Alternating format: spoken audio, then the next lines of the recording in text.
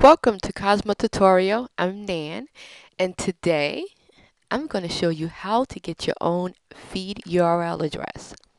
Now, when you're ready to publish your content and you're ready to promote it and start telling the world about what you have to say, then this is the place you want to go to. Now, this is my favorite one. I've been dealing with FeedBurner for over a year and it is great. The, the services as far as tracking and um, and it's very dependable. So I never had any issues. So, okay.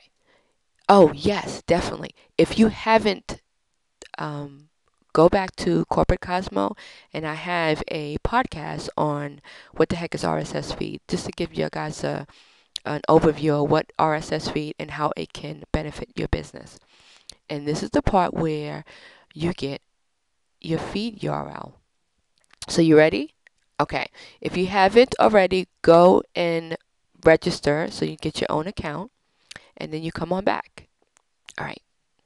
Now this is our homepage. This is www.feedburner.com and it's going to look like this. Of course, looks nice, right? Okay. You'll click on get started.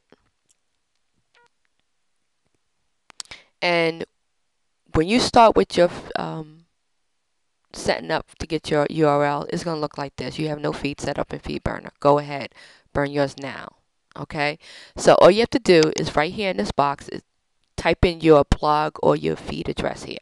And what I'm going to do is put in the Cosmo tutorial um, WordPress address. This is just for test purposes and for tutorial. I'm not going to, I already have one, so I'm just going to quickly show you this. And since I'm a podcaster, I want to click on check. Now, even though you're not podcasting at this time, go and set that up. So when you're ready to start with the audio and the video, you don't have to go through this step. Click on next. Okay.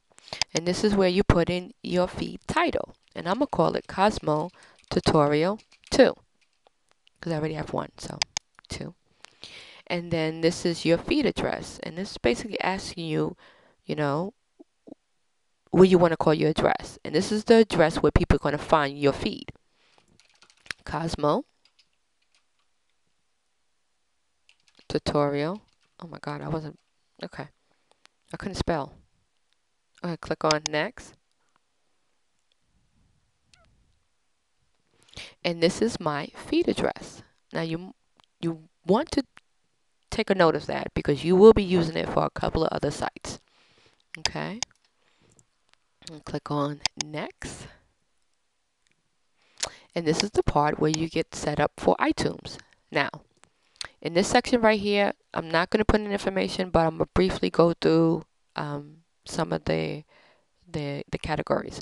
Now, right in here, if you want to create a podcast, um, enclosure from links to any rich media files, audio files, video, images, I want to keep it at any rich media files because I do all three, audio, video, and images.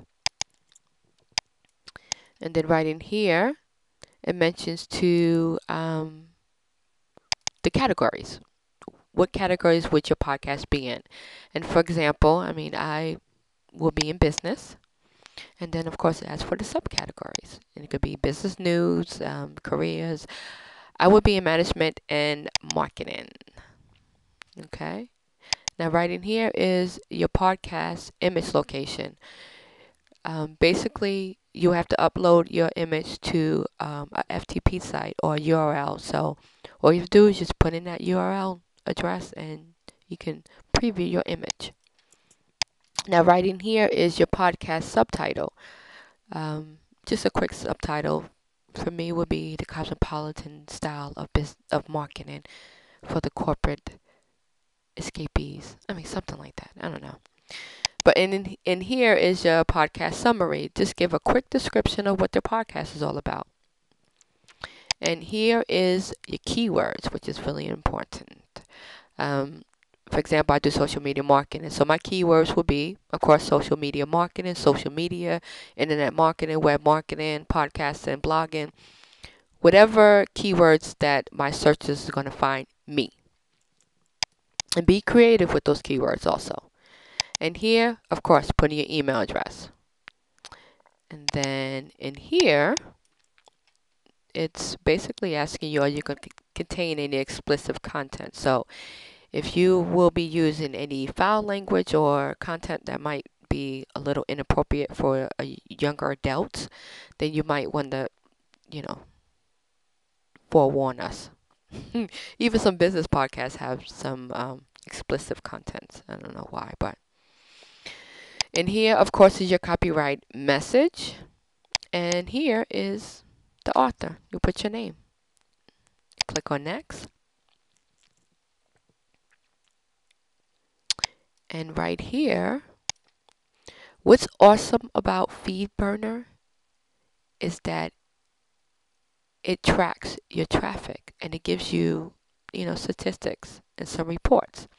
It tracks how many people are subscribed to your your RSS feed, um, what feed reader people are using, what other services and sites using your feed, and even, of course, you want to click on click through, how often people click back to your site. And then here is item and enclosure podcast um, download, which is podcast download. I want to know if my visitors or you know someone who's searching and they find my podcast and they like it and they want to download it. I want to know if people are downloading, and I know you want to know that too. Click on next. And voila, it's successfully updated. And right here in this section, um, what's another great thing about FeedBurner is that um, it supports different platforms.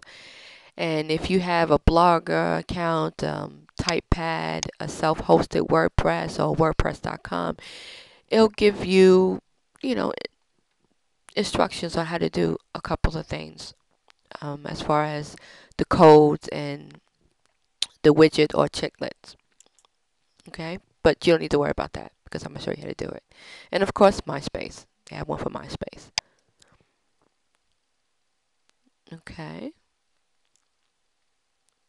So, I'm going to go back up here and I'm going to click on Publicize because this is where I'm going to get my URL address. Okay. Now down here on the left hand side under services is Chiclet choosers. And there you go. You see that orange and white icon? the standard feed icon. Um, right now it defaults to that, but you have a choice of using custom um, icons for the other popular um, um news reader like Yahoo, Google, and uh, tons of other ones. I don't want to put that on there. I'd rather stay with the standard one and have my visitors choose which one they are subscribed to. Okay, so you scroll all the way down and you see these codes right here. These are the, H, the um, HTML codes that we're going to copy and paste into our WordPress blog. Now, don't freak out because I know you probably was like, what are these codes? Right now, don't worry about it. All I want you to do is copy it for right now. And in part two, I'm going to show you how to paste that into your WordPress blog in the widget. Okay?